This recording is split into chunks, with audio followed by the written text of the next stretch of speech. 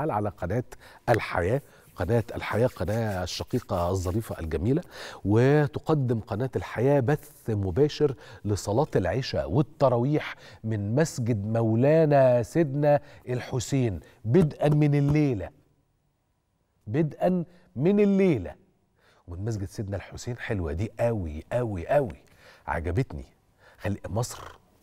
ده مصر دي هي بلد الجوامع والمآذن وما إلى ذلك. ده القاهرة بس هي بلد الألف مئذنة بس بقى اختيار الحسين اختيار عظيم الحقيقة من إدارة القناة. عظيم. برافو. عشرة على عشرة. طيب. طبعا القرآن الكريم بصوت كبار القراء.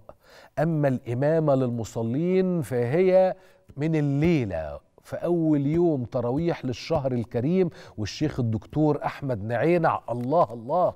وطول الشهر الكريم يقوم بإمامة الصلاة وتلاوة القرآن الكريم نخبة من كبار القراء. يمكن للسادة المشاهدين الاستمتاع بأصوات صفوة قراء دولة التلاوة مدرسة المدارس المدرسة المصرية.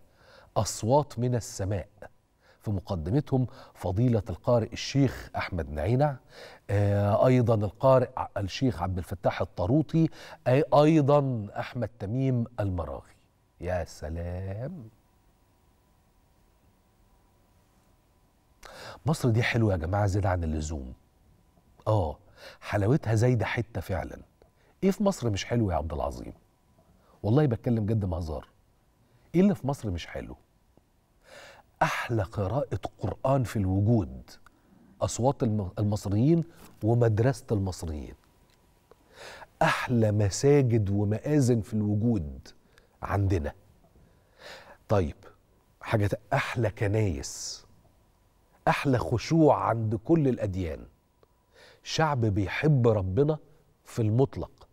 في ضراء قبل السراء وأثناء السراء يكثر من الدعاء. الابتهال بيرفع ايديه بيصلي حتى وهو مش محتاج. انت البلد اللي بتروح للاولياء صوفي وقبطي سواء إذا كنت مسلم ولا مسيحي يعني تلاقي مسلمين كده في مولد ستنا العذراء. ومسيحيين كده عند سيدنا عبد الرحيم القناوي بتحصل فين دي؟ آه والله بتكلم بجد. فين؟ غير هنا. طيب قول لي فين؟ تلاقي جامع لزق في معبد فرعوني يعني أنا بتكلم على الجامع والمقام والضريح بتاع سيدنا أبو الحجاج الأقصري. جامع لزق في المعبد المصري القديم لزق في دير قديم وكنيسة لزق.